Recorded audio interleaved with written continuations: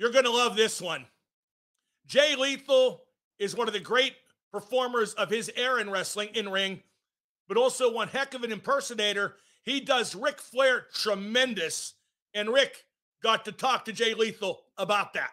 I will say this I've only met a few people in my lifetime with the talent and the skill that this guy has.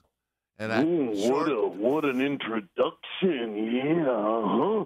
That's right. Yeah, Mattel Repeller. Yeah, too sweet uh, to be sour. Did I say that right? Yeah, too sweet to be sour. Yeah, funky like a monkey. Yeah, 'cause peace is the police. Uh huh. I'm the man that really took out Ricky the Dragon Steamboat. Oh yeah, Dragon, isn't that right? I am the Lord and Master of the Ring. Yeah, and the Dragon found that out because I am the number one wrestler in the world. How about that? Isn't that amazing? you gotta you gotta come back into the microphone. I couldn't hear the end of that.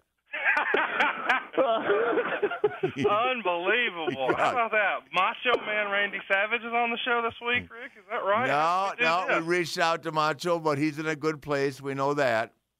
I found yeah. someone that can interpret that it can um, impersonate him almost better than Mach could do himself. Now, now, now we're gonna hear from Ric Flair. Come on, Ric. Yeah. Bobby, they told me that Hogan is in the gym training harder than he ever has his entire life for his upcoming match with the real world champion. Hogan, too late. You can run, but you hide.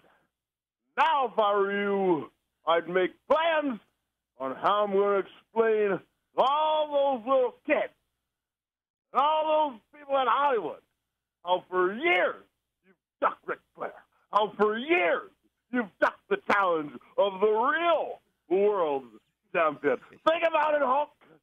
Now you've got to walk that long, immortal aisle and face Ric Flair, the real world champion. Hogan, I'm waiting.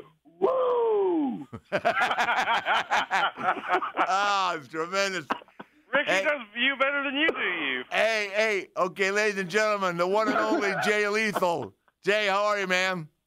I'm doing great, Ric. How are you? Oh, good. Hey, give me my favorite line, the one I ask you to do all the time backstage. Ooh, Yeah, little girls looking at their mothers.